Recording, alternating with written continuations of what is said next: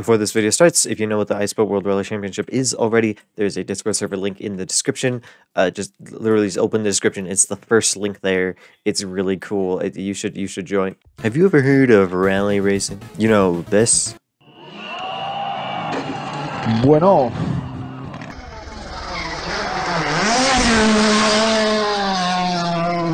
Interested? No?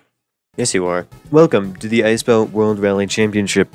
The Iceboat World Rally Championship is a championship in which, unlike other racing leagues, racers race individually on their track. They get a good run, but they don't really practice the track. The whole idea of a rally championship is that it is purely skill based, because it's not just a battle of who has the most free time and who can practice the most. Most of the drivers will never even have seen the track before.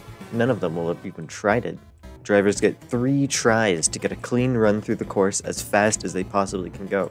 The drivers are rewarded their full time if they use the first person point of view.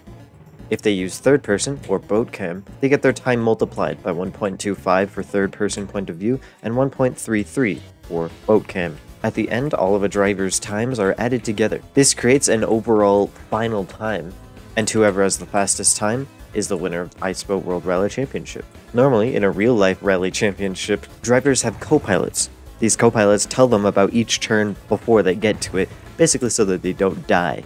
It sounds something like this. Caution crest and slow dip. And caution, 5 right plus over big jump.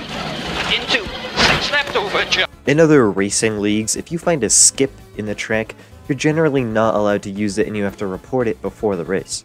In the Iceboat World Rally Championship, if you find a skip, you are perfectly welcome to use it.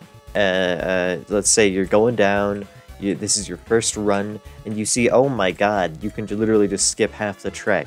And voila, you've skipped half the track. And oh wow, you see, you can skip another massive chunk of the track right over here. And voila, you're on your way to the very end of the track.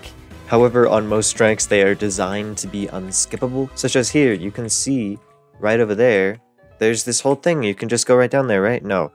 Uh, it, it's very much skip proofed. Every single possible skip is is blocked up. But if you're if you can find one on T Mountain here, uh, you're you're perfectly welcome to use it. The Discord server link is in the description. Uh, you should you should like join. Hope you have a good rest of your day, and uh, pl- please join the, the, the please join